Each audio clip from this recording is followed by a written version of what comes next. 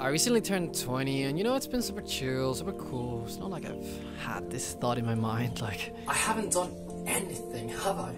because you know we've grown up watching YouTube and watching all these people that are the 20s that are doing these amazing and great things and uh, you know it's easy to get you know quite unmotivated because they're doing cool things and I haven't done them and oh fuck I hate myself. But you know the thing is I I am one of those cool persons. I am actually doing this video because I'm going to share with you 20 things that I think are going to change your fucking life. So yeah, feel privileged. You gotta do your flossing.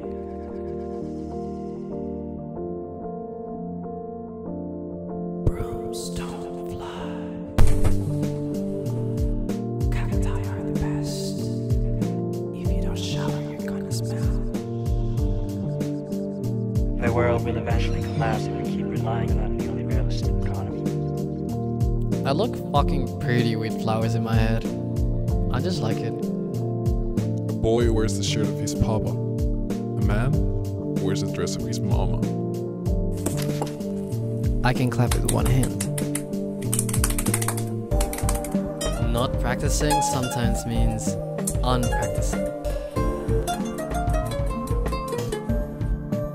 If you can afford it, you should do some skincare. Just do your bed. It's not it's not hard. It's easy. Doesn't take time.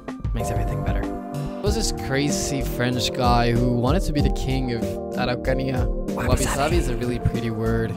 It has a really cool meaning, but I just I just kind of forgot it. I mean, I saw it once in Pinterest and then I kind of forgot about it. Baby food is fucking delicious, man. Everyone should get this. We need to do something about Earth's exponential growth. If you're ever sad, just get a cookie.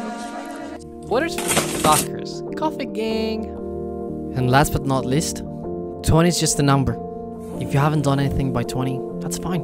No one cares. The only thing that should matter is the things that you do for yourself and that you're happy with them. Is what I would say if I was a loser.